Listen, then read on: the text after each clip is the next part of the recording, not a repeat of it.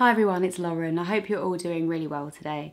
It's been a bit of an awful year all round for everyone on all fronts, hasn't it? Let's be honest. So I thought I'd come to you with a bit of a fun video today. If you're someone who has really missed our great British summer, if you've missed out on watching Wimbledon and eating strawberries and cream, if you haven't been able to get to the countryside or get to a park and missing a bit of that quintessential Englishness, then I have the video for you. And also, if you're not English, but you like that kind of culture, if you're interested in learning a little bit more about what English people are really like, then I have loads of book recommendations for you today. Of course, there are lots of books in the world written by English authors about English people or set in England, but there's something about each of these books specifically which really scream out about our English eccentricities. And I think each of these books say something, either good or bad, about the way English people think and behave. So we'll start with Ghost Wall by Sarah Moss. I actually think all of Sarah Moss's writing somehow encapsulates that very English or British tone, um, something about her, her families, her characters that I really recognise. But Ghost Wall specifically is about the idea of Englishness. It's a very short novella, but she packs so much into it, and it's about a family where the father is obsessed with this idea of the traditional English people, the people that lived in the land before even the Romans invaded. And he forces the family to go to this Iron Age settlement reenactment. And his behaviour, that doesn't necessarily seem that abusive to begin with, um, gets stronger and stronger throughout the novel. And it's really a look at this idea of who gets to identify themselves as English and why there's this sort of mistrust, to put it mildly, of foreigners or foreign influence. The Remains of the Day by Kazuo Ishiguro is a beautifully written book which has strong Downton Abbey vibes. If you like that kind of era of history, then this is definitely the one for you. This is written from the point of view of Stevens, who is a butler right at the end of the glory days of the English country house. He's telling you his story in the 50s and he's looking back on his life. He has spent his career trying to live up to the idealised image of the perfect butler. He is all about the stiff upper lip, suppressing your emotions and going around your about your duties with dignity and decorum. And the way he speaks about his life to you is so English. It's almost it's so funny. I found it very funny seeing how almost caricatured um, his very traditional English sensibilities are. But he takes you through his story with so much grace, almost like he himself is a butler or the book is a butler taking you through um, with grace and dignity and then only towards the end of the book do you see inside his heart a little bit and by the end of it you're so it, it is quite emotional, I found, um, which is deceptive from the beginning of the book. In English Animals by Laura Kay, we meet Mirka, who's come to the UK from Slovakia and works. She originally assumes she's going to be working as an au pair for this very rich, often drunk, but not very cash rich um, English couple.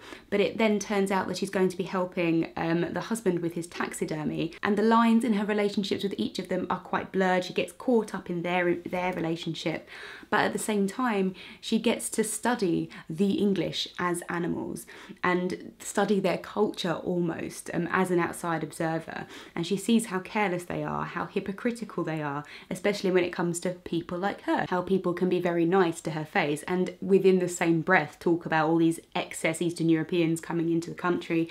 Um, and it's a great book in and of itself. I love the story and how all these characters relate to each other. But in terms of the book as a study of Englishness and that those kind of characteristics that we have, by the end of it, Mirka is really creating these satires about English life via taxidermy. Um, and it's just very, very well done. Both of Joanna Cannon's books are excellent feel-good novels with a whole array of quintessentially English eccentric people. The first one, The Trouble with Goats and Sheep, is set in the big heat wave of 1976, I believe, yes. And it just shows how crazy English people get when they get a little bit of summer. When it gets too hot, people just go out of their minds.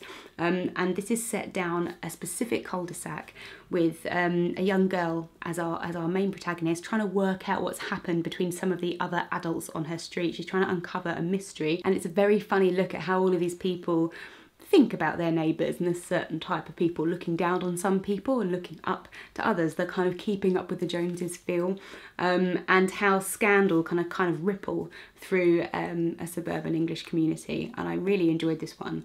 Three Things About Elsie, however, I absolutely loved. This is quite a sentimental old book, and it won't be everyone's cup of tea, but I absolutely adored it. This is about Florence who's in an old people's home when a new resident turns up, and it's a man who she recognises from her past, and so she thinks he's come to find her because he's tied up in some incident that happened when she was a lot younger, which she tells you about as the as the story goes on.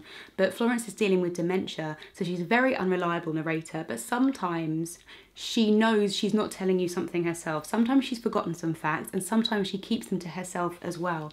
Um, and it's quite a jumbled narrative which comes together very, very beautifully. And I just I just love old people. I found out as I was putting this list together that a lot of these books, when I say all oh, these very English characters, a lot of them are old people. Um, so perhaps there's something about that, the kind of nans and grands of England that I find very endearing. But it's all about Battenberg cake as well, one of the most English things you can you can get. And it's such a heartwarming story about the effect that we can have in other people's lives without really realising it, how far a small kindness can go and how small the world really is. And yeah, I just found it a really, it really made me cry. NW by Zadie Smith follows four different Londoners who grew up on the same council estate and where they are in their lives now. The different sections of the book are written very differently because they really reflect the psyche of the character um, and it's a great look at the intersections of race and class in London. I feel like London and the characters you find in London come through really clearly in this book um, and I also loved how she plays around with the idea of what these characters were destined to become, um, depending on where they grew up, what their race is. Um, if someone's from a council estate but they're white, they're going to have a very different trajectory from someone who's black or mixed race, and how.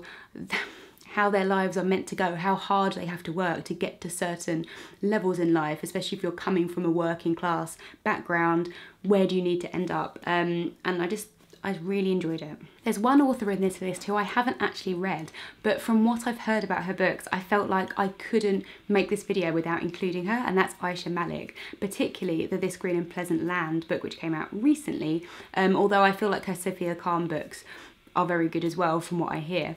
This Green and Pleasant Land is about a man whose mother dies and I think her dying wish is for him to build a mosque in his small, um, his small sleepy English rural village and he just has this kind of I guess, crisis and it's like, right, I've got to do it. I've got to build this mosque, even though he's not been that religious himself um, throughout his life. And it sounds hilarious, like a cast of rural village characters who are very against this mosque. Um, I've not read it myself though, so I cannot recommend it wholeheartedly, um, but I thought she certainly deserved a mention. I have one non-fiction on this list, and that is A Shepherd's Life by James Rebanks. And I haven't in general included non-fiction, but I think this one particularly tackles with this idea um, that the British are so linked to their countryside, the way we romanticise our own countryside and we take it into our own personalities, like we all feel so much ownership over places like the Lake District. And this is a great look at what it's like growing up in one of those rural landscapes, um, specifically um, his village in the Lake District and what it's like being a shepherd there, being one of the local people and how the work is very hard and there's not many opportunities outside farming within those communities. And that's interesting in general for me because I go to the Lake District a lot so I like to learn about a shepherd's life. Um, but it's also interesting seeing their relationships with the hordes of tourists that come into the Lake District because a lot of the economy um, is supported by the tourism. And yet they have a very different relationship with the same landscape which is farmed by these local people. Um, and I thought it was very very interesting the way he linked all of these different themes together. Queenie by Candice Carty-Williams is a book that made me absolutely howl with laughter. Um, it's about a young woman living in London who's dating a stream of very questionable men after she's come out of a, of, of a pretty bad breakup. And also things that aren't going very well at work, um, things aren't going very well at home. Her life is kind of unravelling um, in that very tragically funny way that happens in Bridesmaids, for example, um, where kind of everything in her life is going wrong, but she's not really accepting it. She's kind of laughing at herself, pretending it's all fine and it's all a bit of a big joke, when really it's not fine at all, and, um, and she's struggling quite a lot. Um, it's very funny. I loved her relationships with her friends. I thought this was a great representation of what it's like being a kind of young millennial, I suppose, in London. Um, it feels a lot more current than some of these other books that I've recommended, but still a very clear collection of these English London characters. Um, I thought everyone was so well realised. The Museum of You by Carys Bray is another one of those summer holiday novels, quite similar to The Trouble with Goats and Sheep. And you have a young girl here whose mother died quite soon after she was born and there's a room with all of her things in that her dad has never gone through. And she decides to create a museum of her mum's things. And she curates it because she goes on a school trip to a museum. So she thinks oh that's what you do with old stuff. Um, but she's also spending time down her dad's allotment. She's being babysat by the deaf slightly unhinged old woman next door. It's another one of those really heartwarming small community books. It's got a little bit of heartbreak in there um, but ultimately it's it's quite feel good and finally, one of my favourite books of last year, I couldn't not include Lanny by Max Porter. This, again, takes place in a rural English village, although it's within the kind of London commuter belt. Considering I live in London, it's a bit funny that so many of these English novels I've picked up are about the countryside. Um, but this is about a young boy, Lanny, who goes missing, and we get perspectives from his mother, from his father, and their neighbour, who's a, an old man who was an artist and been teaching Lanny art. And what I loved about this book is that you get snippets of from all of the neighbours, everybody lives in this village, we get a little bit of their conversations or we get some little bits of their thoughts. They've got some very strange neighbours who get very angry about people parking on the verge and things like that. Um, and that is very funny. And that does come through quite an abstract route because there is this character called Dead Papa Toothwort who is hovering around the village and overhears different bits of information and different pieces of conversation, but it's those little snippets of conversation which are like the most English thing I can I can ever ever dream of. It's a beautiful lyrical novel with lots of poetic parts of it. That there's lots of vis visceral descriptions of of nature um, and the countryside and the idea of art and beauty as well as of death and decay.